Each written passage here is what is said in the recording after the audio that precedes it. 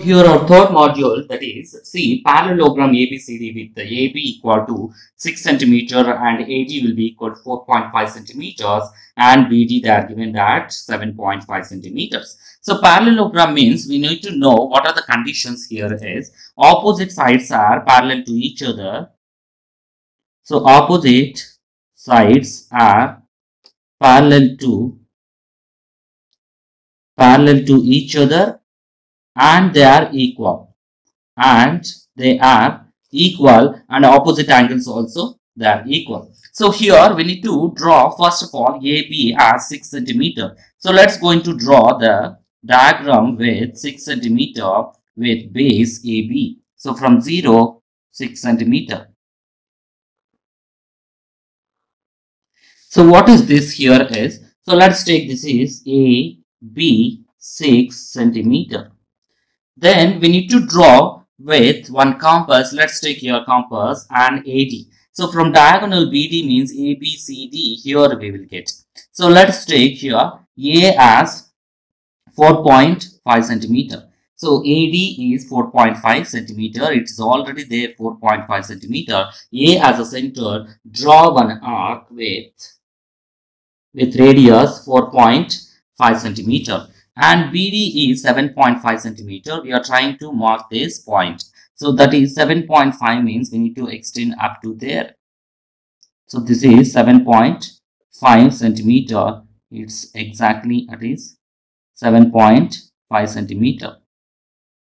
So B as a center, draw one more arc with 7.5 centimeter. Let's keep that point as D. So this is the point D. So let's going to join these these lines. So let's take join these lines. So what is this angles have? So let's going to join A, B and BD. So what is this dimension? This is exactly 7.5 centimeter. This is AD will be equal to, we need to check this is 4.5 centimeter. So let's take write this one 4.5 centimeter. This one BD as, so let's take this one. So in order to differentiate the diagonal, so we need to differentiate this one. So with diagonals, this is the diagonal. So what is this diagonal length will be equal to 7.5 centimeter. So that is the 7.5 centimeter. Let's take, we know that DC is equals to 6 centimeters. So here AB will be equal to, AB will be equal to DC. That will be equal to 6 centimeter. Then AD will be equal to CB that will be equal to 4.5 centimeter other than diagonals. So DC we need to make DC means that is 6 centimeter. Let's take from 0 here 6 centimeter. So this is the point 6 centimeter.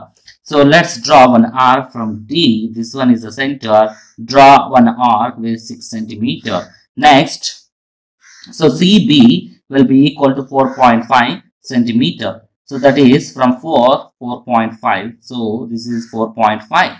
So from B draw one arc with 4.5 centimeter. Db as a center draw arc like this. Now this point where the two points is coincide this point is C now let's going to join this these points. Now let's going to join this lines. Then we will get parallelogram as the given dimensions. So what is this one is so let's consider let's find. So this is the so this is the what is this? This one is 6 centimeter. This one is 4.5 centimeters so we have constructed the parallelogram. What we can say? Constructed parallelogram.